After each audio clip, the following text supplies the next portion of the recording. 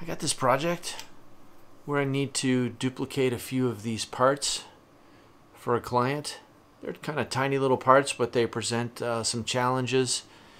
And we're going to take all three of these and mold them in one shot in about half of this mold box. So we'll make a two-part silicone mold in here of all three of these little parts. My name is Eric Strebel. I'm an industrial designer. Welcome to my channel about product design and making.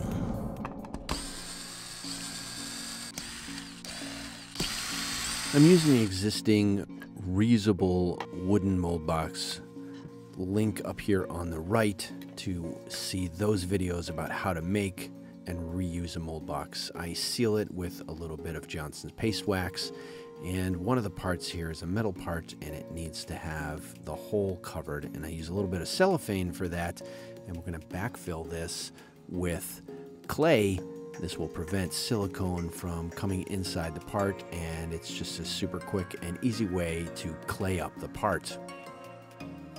I'll use a little bit of white glue to glue the part down to the wood. This is just PVA, it's non-destructive, it's very easy to clean up, and is easily removed.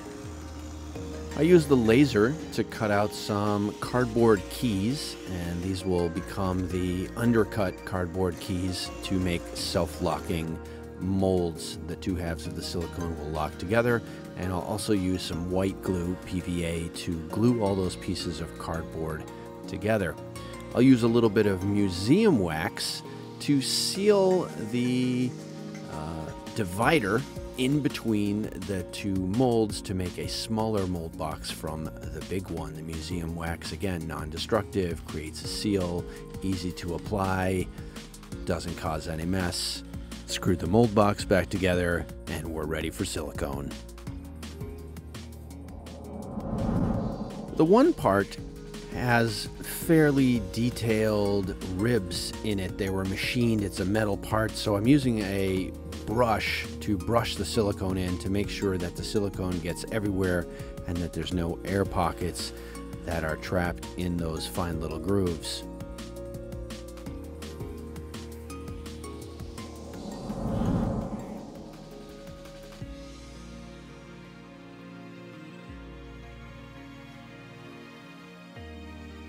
All right, so time to remove the clay and start setting up for the second half of the silicone mold. There's a tiny little bit of cleanup, but it's pretty minimal.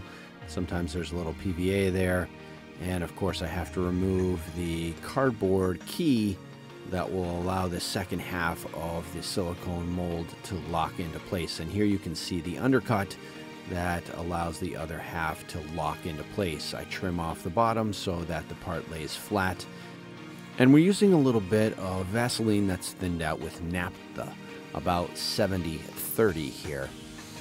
And we'll reassemble the mold box so that we can go ahead and add in the pour sprues and the vents. I'm just using some polyurethane that was cured inside of a straw and tapering the ends on the drill bit using a file and we use a little super glue here and then a little bit of kicker on a brush to place those sprues into place on the parts. So the theory here is that the mold will end up being tipped. So you're going to pour from a low spot into a high spot. That's how these things work. So we're always trying to pour in the lowest spot so that the air gets removed out through the high spots. Let's mix up some silicone and pour that into the mold box to pour the second half of the mold.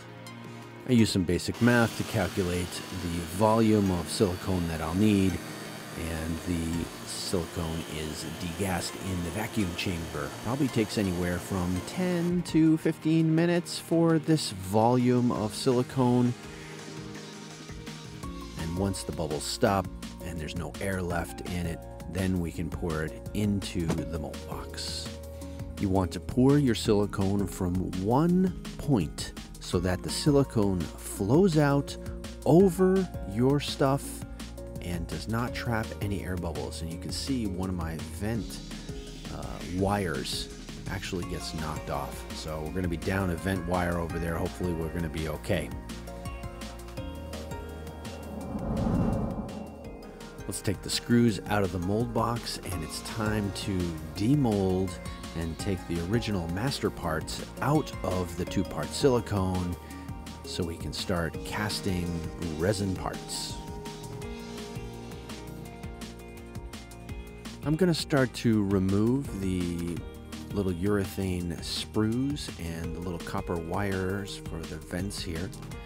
And then slowly pry the two halves of the mold apart to reveal our two-part silicone mold.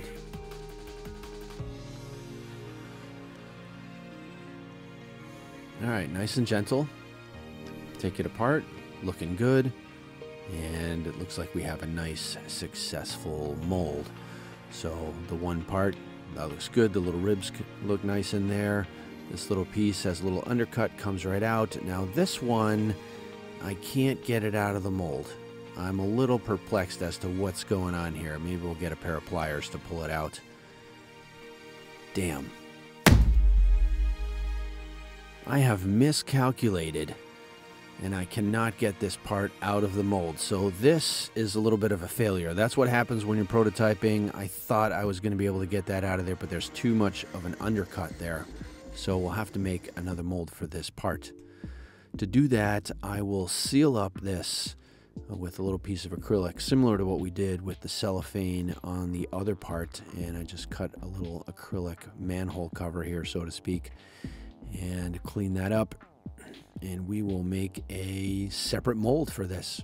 Put it onto a piece of acrylic. And we'll add a little bit of white glue PVA here and we'll glue this down to the bigger acrylic piece.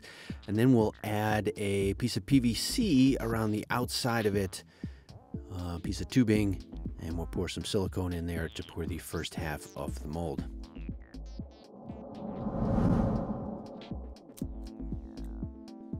disassemble that so that we can set up for the second half of the silicone mold here. Got a little bit of silicone that's creeped underneath the part and we got a little PVA on the inside, but that's super easy to scrape out. That's why I use the PVA. Use a little bit of air, blow out any residue, and we'll put it back inside the PVC tubing so that we can set up for the other half of the mold. We'll just use two little cutouts here as uh, keys and we'll use the same piece of urethane tubes as our sprue and our vent for the second half of the mold. I'm going to use a piece of acetate here to make the rest of the mold box for the top and we're going to pour in some clear silicone so that you can see when we pour the resin in what the part looks like when it's being cast. All right, let's demold the second half of the urethane, remove the sprues and the vents, take it apart. Oh.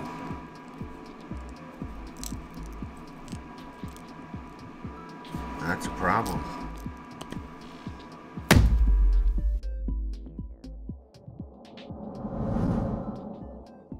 So it turns out the platinum silicone was being inhibited from curing against the tin cure silicone part that you see here.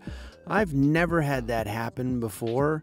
Of course, I don't use a lot of platinum silicones and generally just stick to the tin cures. So we're to have to redo this one more time and we'll use a tin cure, same method as before and we should be a lot more successful this time. So we'll pour in the silicone in the middle and let it flow out. That's the best way to do this.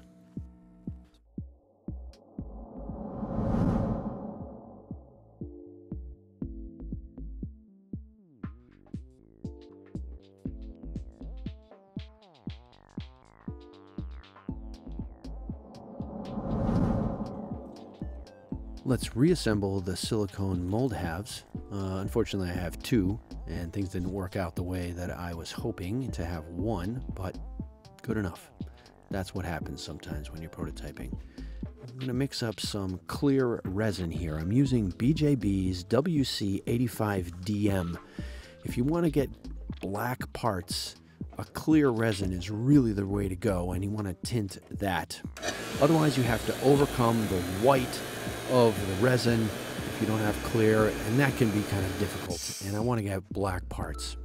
So I place the molds on top of my dental vibration tool. This uh, allows the resin to flow and hopefully remove any bubbles inside the part and you'll see the resin soon come out. These molds are tipped. There's a sheet of glass that they all sit on and so they are tipped. We're pouring in the low spot and then the resin seeps out of the high spot. On clear resins, Oftentimes, pressure casting is required as they are very moisture sensitive. So, into the pressure pot, the parts go and they will cure there for six to eight hours under 60 psi of pressure. And I will add some heat up to about 120 degrees of heat.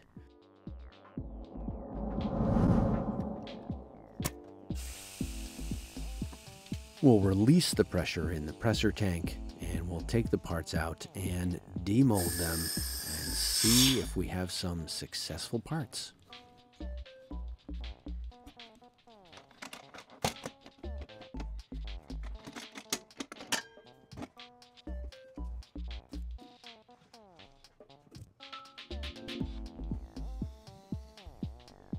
All right, looking pretty good.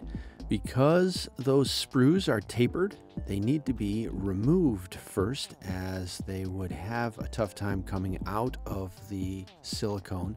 It is possible to pull them out, but you want to take them out with the pliers first.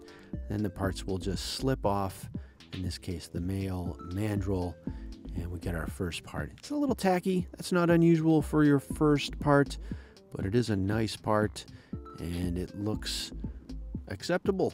So I'm happy with this part. Let's check out the other parts. Remove those sprues as well. Take that out. And this one's a little deep here. This one's a little tougher. And take the mold half apart. You can see the self-locking feature there. This is nice, has a little bit of flash, but also a very nice part. And we got the round little piece here as well. These are the final parts. Now I just have to make 10 more of each. Make sure you give the video a thumbs up and don't forget to subscribe if you haven't already done so. Make sure to hit the bell so you get notifications every time I have a new video.